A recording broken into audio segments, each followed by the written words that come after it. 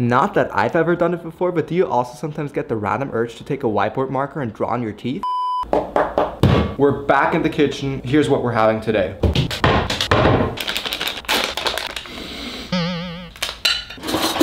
Here's what we're having. I got a free sample of mushroom gummies when I took you guys with me to the LA Fitness Expo for my last video. I have never had anything that even comes close to this. Of course, I did some research before I actually decided to try these. They are non-psychedelic. These are provided by a company called Troomy, which produces mushroom gummies for all different kinds of purposes. They do one for calm, sleep, daily use, boost, and we are trying focus. Not that I feel like I lack focus, but that purpose kind of turned me on the most. Besides that, it reminded me of Limitless. And not that I think its effect is gonna come anywhere near to that of the fictional pill consumed in Limitless, I'm sure it's a good time, so let's try it. Wow. Mm-hmm. I don't know if I should take both of these. They say one serving is two gummies, so we're gonna have both. Life is short. Jesus, take the wheel.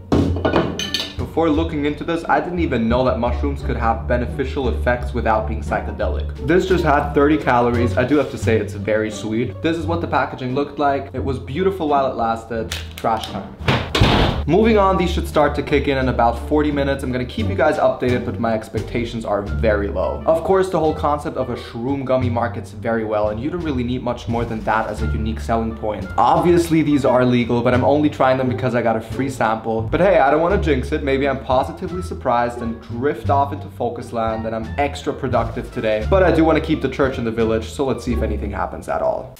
I honestly don't know why I randomly feel the need to address this, but why does everyone say I look like Noah Schnapp? Before moving to the US, I have never been compared to this guy. I barely knew who this person was. I have never seen any of the Stranger Things seasons, please don't come for me. But for the past months, people haven't even been casual about it. They're not like, haha, you kind of look like this guy from Stranger Things. Haha, you look like Noah Schnapp. No. Now I need to take this from the top. Growing up, my looks have been compared to some cute 90s, 80s actors. I've gotten Mozart before, but never have I heard Noah Schnapp. And I do think it's normal, especially in our society when you're a teenager that you compare yourself to people who are in the public eye. I had a friend in high school who looked very similar to Leighton Meester or another one who was like a less handsome version of Leonardo DiCaprio, no offense. And once you pointed it out, everyone saw it, everyone had a laugh and then moved on. But with this Noah Schnapp thing, I've been getting it at least once or twice a day. I mean, starting off, I've done it before, but I just Googled this guy and the first picture that comes up is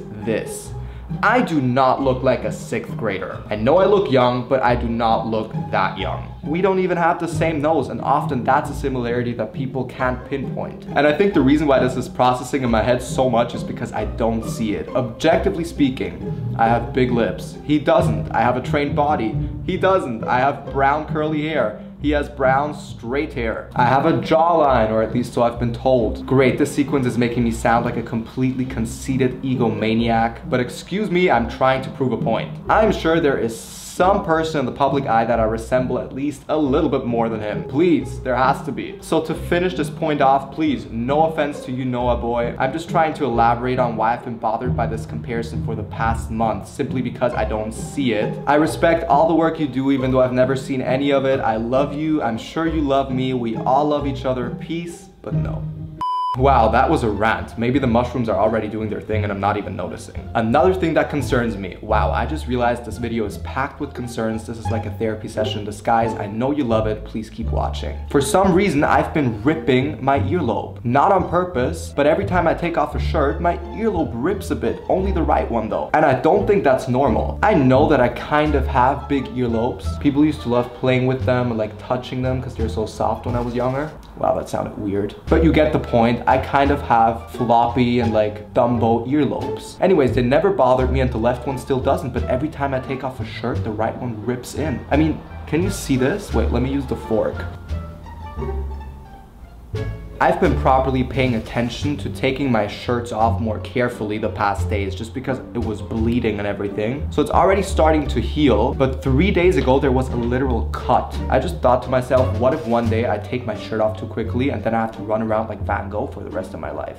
I mean, imagine my earlobe just rips off. That would be a plot twist. I didn't plan on this. Is there such a thing as an ear transplant? Because I would definitely need to look into it. Anyways, I'm taking more care now, but that is so weird. And here's what scares me. I did my due diligence and you can actually rip off an ear or an earlobe as easy as a band-aid. It's just your brain stopping you. That's the same way you can bite off your finger as easily as a carrot. It's just your brain stopping you. So the fact that I could actually be ripping off my ear accidentally if I'm not paying attention while taking off a shirt is a fear I thought I'd never have. So yeah, it hurts a little bit, but I'm always applying this little cream that I have. Where is it?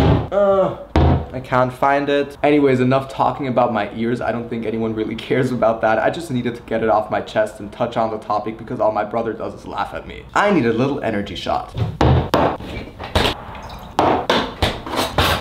Literally just a shot. I don't want to have insomnia. Hmm.